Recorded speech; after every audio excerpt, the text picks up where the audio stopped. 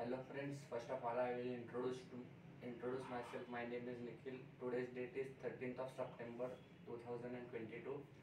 Uh, today's topic name is uh, base base uh, base condition in recursion and stack overflow in recursion. Then we will see one by one what is base condition and what is rec- uh, stack overflow. First we will see what is stack overflow. In Java, when we are calling one method, uh, one method in from one method in main method, it is allocated in stack.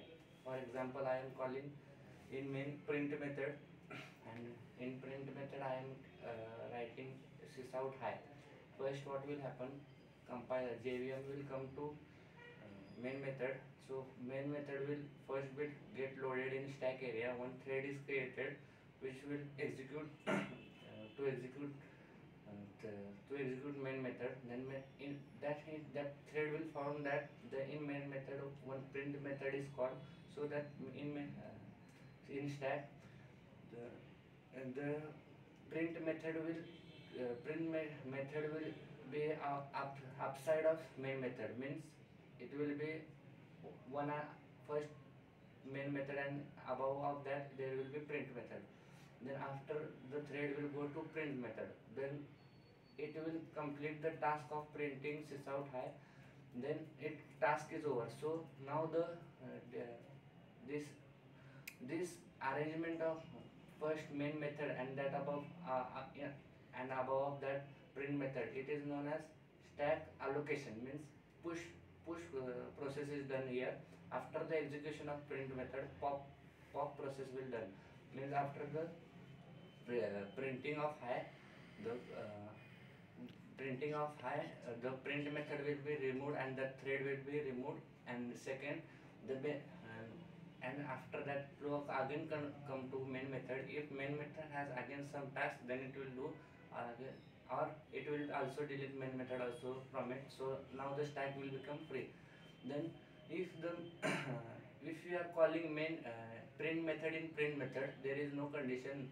So main uh, in stack what will happen? Main method in above that in a, above that print method in above that in above that print method this stack is created by uh, print print print print print print and at the point when up to whenever the uh, up to when up, uh, up to whenever the stack is not full it will print hi. Eh, once the st- stack is full it will show error overflow stack overflow means the memory is full and only allocation of mem- mem- allocation of push allo- allocation of stack is there means only push is happening there no pop is happening there. So only push push push push push push uh, means only print print print print print print the uh, stack is stack will get full because the we are not operating pop operation in stack. This is what stack overflow is then second point is base condition. If we apply one base condition uh, to that print method i will what i will do. I will pass one uh, integer value to that argument to print method that is zero. I, the, in that i will write condition. If uh, if zero is if n is less yes if n is less than 5 and I will increment that value n and then pass to next print method. In this case, what will happen? Six print method, different print methods will created in the stack above the main method. Means after the last execution of print method, uh, after the last execution of print method, the flow of control get reverse. Means now the pop operation will start. with the pop operation will start will executing. For, for example, pop uh, last last print method printed hi then that uh, last print method will get uh, removed from the stack then then la- second last is print file second la- last element uh, second last method is print.